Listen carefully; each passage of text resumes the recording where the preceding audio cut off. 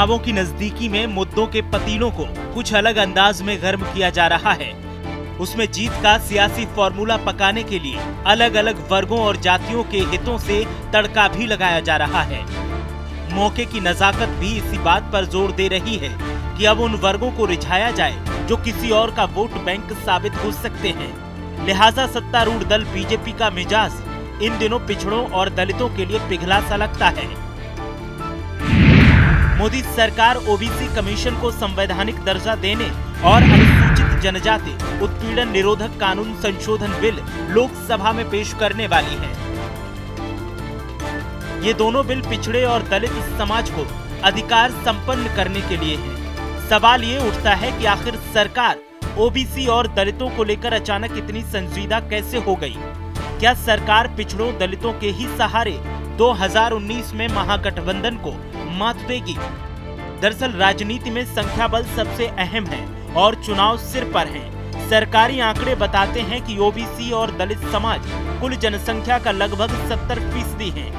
इस लिहाज से किसी भी राष्ट्रीय या क्षेत्रीय दल के लिए इनकी अनदेखी चुनाव में भारी पड़ सकती है। एस सी एक्ट में 20 मार्च को आए सुप्रीम कोर्ट के फैसले के बाद दलित राजनीति में उबाल है। इस एक्ट को उसके पुराने स्वरूप में लाने की मांग को लेकर 9 अगस्त को दूसरी बार देशव्यापी दलित आंदोलन होने जा रहा है। इससे पहले 2 अप्रैल को हुआ था। उधर नौकरियों में आरक्षण को लेकर ओबीसी समाज में भी नाराज़गी है। ऐसे में माना जा रहा है कि सरकार इनकी नाराज़गी मोल लेकर 2019 में कोई रिस्क नहीं लेना चाहती। संसद में जो ओबीसी बिल और संविधान संशोधन बिल पेश किए जाने वाले हैं उससे बीजेपी चुनावों में पिछड़े वर्ग को लुभाने के लिए एक बड़ी उपलब्धि के तौर पर पेश कर सकती है। अगर वो अपनी मंशा में कामयाब हुई तो ओबीसी की पाँच हज़ार से ज़्यादा जातियों का लाभ उसे मिल सकता है। ओबीसी में शामिल जातियों को लुभाने के लिए मोदी सरकार दो दांव खेलती दिख रही है।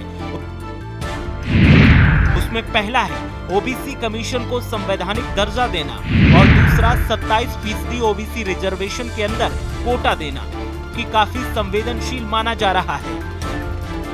हालाँकि ये बात आयोग तय करेगा कि ओबीसी में शामिल ऐसी कौन सी जातियाँ हैं जिन्हें आरक्षण का पूरा लाभ नहीं मिला और ऐसी कौन सी जातियाँ हैं जो आरक्षण की मलाई खा रही हैं।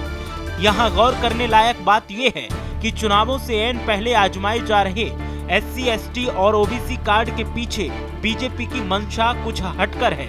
इसे लेकर सियासी पंडित बताते हैं कि बीजेपी का टारगेट ओबीसी के अपर सेक्शन से हटकर ओबीसी की उन जातियों पर है जिन्हें सब कैटेगराइजेशन के ज़रिए लोभा कर उन्हें तोड़ा और बीजेपी के फेवर में किया जा सके। हालाँकि बीजेपी इस एक्सपेरिमेंट या इस मंशा में कितनी सफल रह पाती है, इसकी सटीक रूप से तस्दीक आने वाले चुनावी नतीजे करेंगे। उससे पहले सारी बातें अनुमान और संभावनाओं के दायरे तक ही सीमित हैं। ब्यूरो रिपोर्ट, मीडिया हलचल।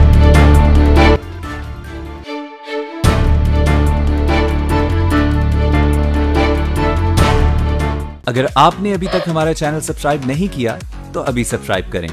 और बेल आइकॉन को क्लिक करके हमारी लेटेस्ट वीडियोस के बारे में अपडेट जानें। सब्सक्राइब कीजिए